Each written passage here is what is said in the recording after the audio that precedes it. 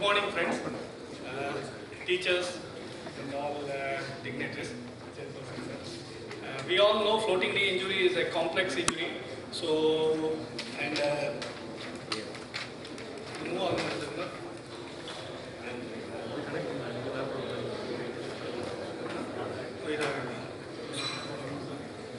So this is the place where I work. and I have no disclosures.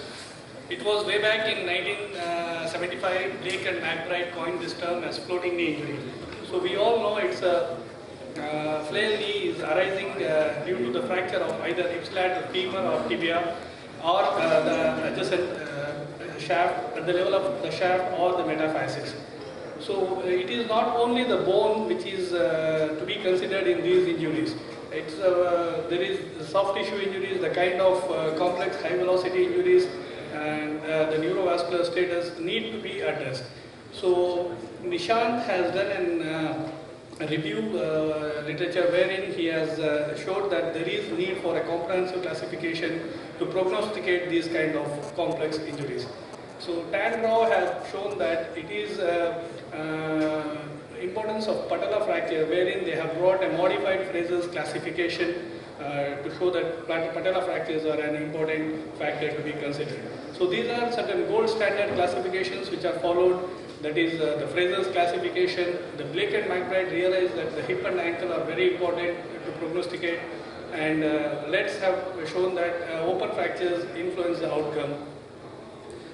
So we, uh, it was J.M. Ferron uh, who have shown in his uh, review article that these are very high velocity injuries where the role of conservative treatment is very poor and the surgical management has uh, some impact on the outcome.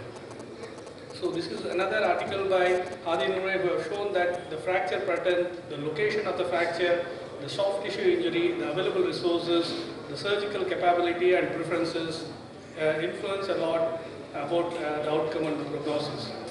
So another similar article uh, we shown that the open injuries, the intra-articular comminution and influences the outcome. Feng Chan have shown that whatever the kind of surgical intervention you do, there is a very high rate of complications in these kind of injuries. So what's not considered in these classifications? The open injuries, the neurovascular status, the degree of comminution, and the associated injuries and comorbidities.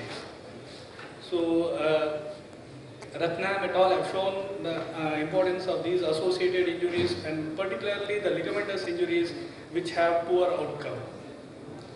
So there are frequent uh, uh, questions which are unanswered like uh, the patient comes to you, the relatives ask what is the prognosis, how many procedures will he need, how many days of hospitalization will be needed, will he be able to regain his pre-injury level. So in our scenario, the treatment cost is very important. So we try to develop a comprehensive classification system which would enable us to uh, uh, plan a surgical protocol and try to prognosticate the outcome. So what we did is we clubbed all the existing classifications, the Fraser's, Blake and McBride, Gustilo Anderson's, open uh, Yeo classification and injury severity score. So we also added certain modifiers called as uh, M1 modifier, extensor mechanism disruption, M2 as osteoligamentous disruption, and M3 are the periarticular fractures around hip and ankle. So we all know patella is one third uh, uh, most common association, and in majority of cases uh, they need patellectomy. And uh, the ligamentous uh, injuries are more um, more than 50% they are associated with these kind of injuries. And uh, identifying uh, avulsion is not difficult on the lateral X-ray. And at the same time, uh, J.M. Ferron has shown that evaluation after fixation is equally important. And post-MRI has difficulty in interruption because of the hardware. So at the same time, uh, missing of uh, hip and ankle injury is very common in these kind of injuries because the focus remains only on the knee. So one has to uh, look for these injuries. This is again the basic intention of uh, bringing in this is to you don't miss these uh, kind of injuries. So this is the Preeti Hospital comprehensive classification for 14 injuries. The type 1 is the metaphysial, uh, fractures which are AO, simple type of uh, fracture where there is no comminution. The type 2 are the diaphyseal fractures with uh, severe comminution, segmental uh, involvement. And type 3 are the metaphyseal fractures wherein they are A1, B1 and C1 type of injury and type 4 are the metaphyseal uh, articular fractures and they are A2, B2, C, uh, uh, this complex C3 type of fractures. So we also included the Gustilo Anderson's classification uh, A as grade 1 and 2 where most of the time they undergo complete early total care B as uh, grade uh, 3A and B where they need multiple debridements and uh, skin cover procedures and also it uh, influences our uh, primary treatment protocol and C is the one with the neurovascular involvement. So we uh, already discussed the modifiers, the M1, M2 and M3. So we'll just see certain case examples. This is Fraser's type 1 and also Arthur's type 1 which has no issues.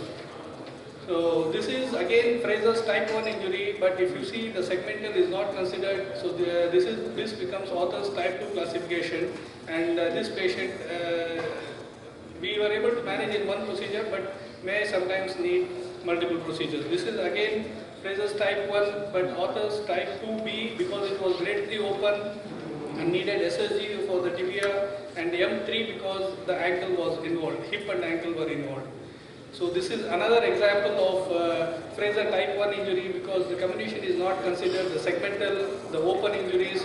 So this patient needed an uh, additional procedure of augmentation with plate and bone grafting and had a satisfactory outcome.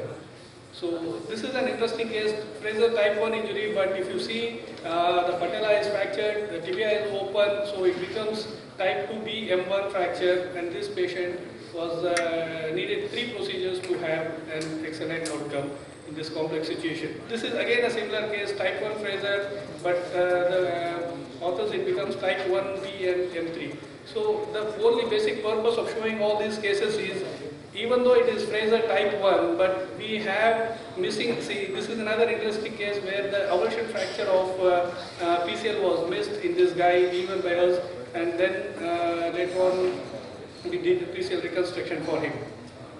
So this is another example of Fraser 1, but if you see, uh, again the open comminution, segmental, so many factors which were considered and this patient uh, had an ultimate uh, satisfactory outcome. And we are able to tell that this patient will need multiple procedures uh, and uh, number of procedures were also being able to justify. So this patient needed ankle fusion because of its ankle plafond involvement.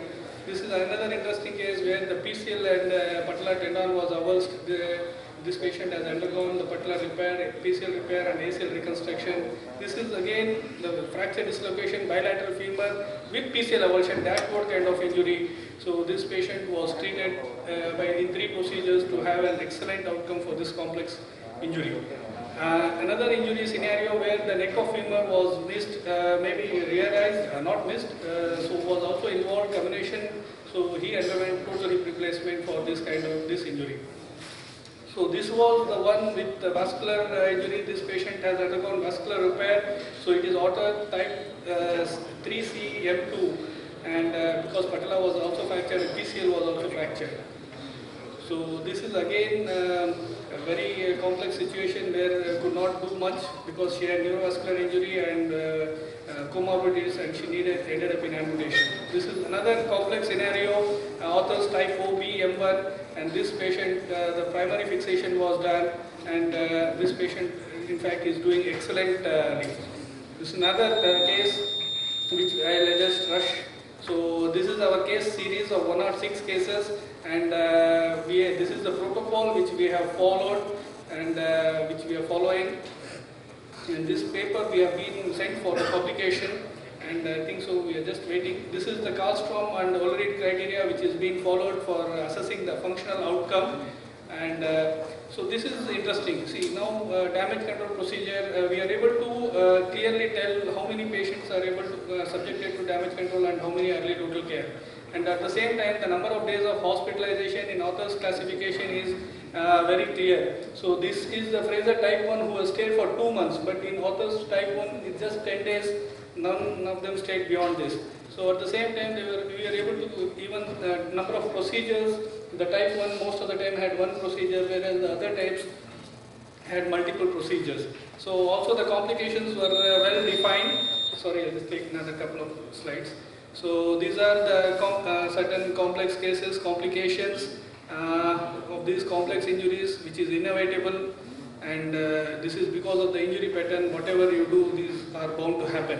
So a, compre- a comprehensive classification is the need of hour, and uh, au- author's classification will help surgeon to plan the protocol and prognosticate the outcome. A satisfactory uh, comparison of the number of procedures, days of hospitalization, and the outcome and complications of, uh, when compared to Fraser's uh, classification. The only limitation is there are several subtypes and we need to do a statistically um, multicentric study to have a satisfactory outcome. Thank you.